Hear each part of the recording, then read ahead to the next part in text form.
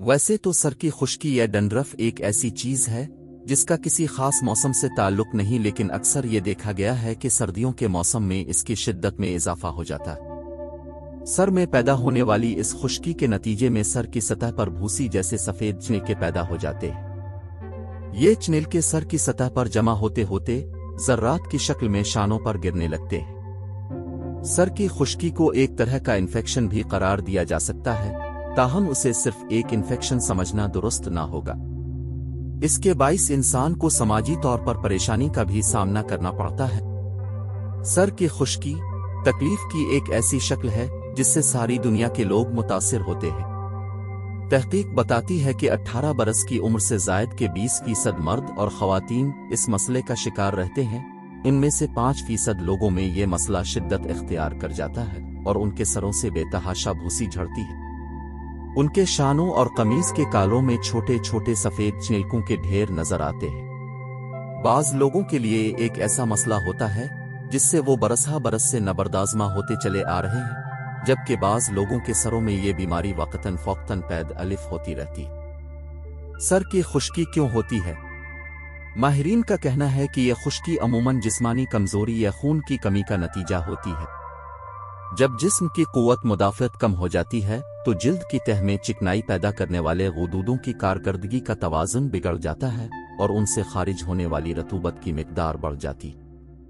यही रतूबत जिल्द पर बारीक झिल्ली की तरह जिम जाती है, जो ज़्यादा गंभीर हो जाए तो फंगस में बदल जाती है। सर की कुदरती चिकनाई वो तेल है, जिसे सनबम कहा जाता है।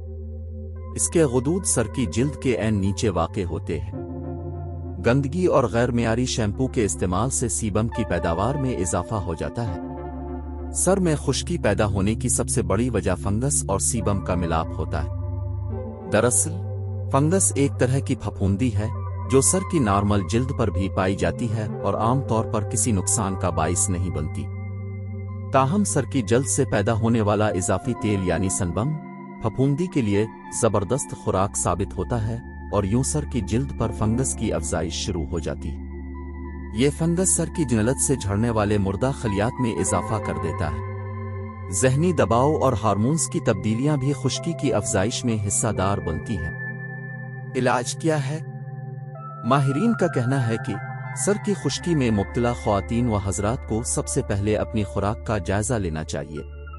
मुतवाजन गजाएँ खाएँ, साथ ही zinc, omega three fatty acids vitamin A, B और विटामिन ई को अपनी खुराक में शामिल करें। पानी का ज़्यादा से ज़्यादा इस्तेमाल करें। शक्कर और शक्कर से तैयार करदा अशिया का इस्तेमाल कम कर दें। माहरीन के मुताबिक, सर की खुश्की मीठी और खमीरी गजाओं की बदौलत फलती फूलती है।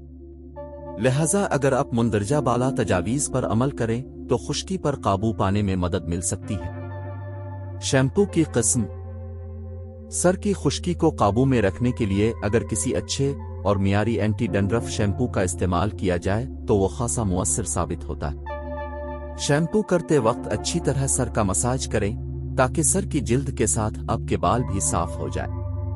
मार्केट में दस्तियाब अमूमी एंटी डंड्रफ शैम्पू इस वक्त तक मुअसर साबित होते हैं, जब तक उनका इस्तेमाल जारी रखा जाए। एंटी डंड्रफ शैम्पू का इस्तेमाल तर्क करते ही खुश्की फिर नमोदार होने लगती है। अगर आपके साथ भी यही मसला है तो मजीद रहनुमाई के लिए आपको जिल्द के माहिर डॉक्टर से रुजू करना चाहिए। दीगर इकदाम सिर का खुश्क मसाज, बालों को रोज़ाना बुरश किया जाए। इससे भूसी उतरने के अलावा सर की जिल्द में खून की गर्दिश तेज हो जाती है। लिहाजा सर की जिल्द का खुश्क मसाज रोज़ाना करना चाहिए। ये मसाज उंगलियों की पूरों से एक तरतीब के साथ पूरे सर पर किया जाए। नारियल का तेल रात को सोते वक्त जैतून या नारियल का तेल सर में लगाया जाए। इस तरह भूसी की पपड़ी अच्छी तरह फूलकर जल से अलग होने के लिए तैयार हो जाती है। सुबह अलिफाटे कर अमला, सिकाकाई और मेथी के बीजों का सफूफ जिसे रात भर पानी में भिगोया हो, बालों की जड़ों में अच्छी तरह लगाकर नीम गर्म पानी से सर धो लिया जाए। इस तरह खुश्की दूर हो जाएगी। ये अमल हफ़्ते में दो तीन बार किया जाए। बेसन और चुकंदर, एक और तदबीर यह है कि सर को चुकंदर के पानी या बेसन से धोकर कुछ रोज रोगन गूल में खालिश सिरका मिलाकर अच्छी तरह लगाएँ और सुबह बेसन, गंदुम की भूसी, मेथी के बीज, राई और खुतनी के सफूफ में अरक गुलाब और सिरका मिलाकर अच्छी तरह से धोएँ और बाल खुश्क होने पर रोगन चंबेली या रोगन गूल लगाएँ। मजीद बरा, एक और घरेलू मुअसर नुस्खा यह है कि खुश्की दूर करने के लिए सुबह के वक्त नंगे सर धूप में कुछ देर तक रहा जाए।